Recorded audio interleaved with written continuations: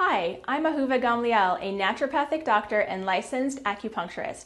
Our topic today is how to make oatmeal paste for flea bites. This is something that's very easy to do at home and I'm going to demonstrate it for you right now. To make the paste, you need to take about one tablespoon of oatmeal and we're going to grind it up to make a powder. However, if you do not have a magic bullet or a coffee grinder, you can skip this step. Your paste will just be a little bit lumpy, but it'll work just fine. So I'm going to put it in the blender. The so I'm going to take one tablespoon of boiled water and add it to our mix. And the reason why I'm adding the water afterwards instead of blending it inside is to avoid having to clean the sticky, gooey oatmeal paste from the blender. So I'm just going to take one tablespoon of the boiled water and mix it.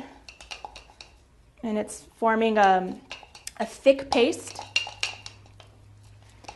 Mmm, and it smells good.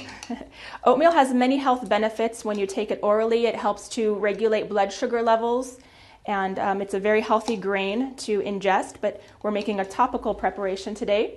And you can use either a washcloth or I'm demonstrating here with a paper towel. And so you can see the paste is nice and thick. And what you would do with this paste is apply it directly on to the flea bite. So if I had a flea bite on my hand, I would apply it on and it's a nice warm soothing compress. I would keep it on for 15 to 20 minutes for flea bites or any other skin condition. Thank you for watching. I'm Dr. Ahuva Gamliel. Bye bye for now.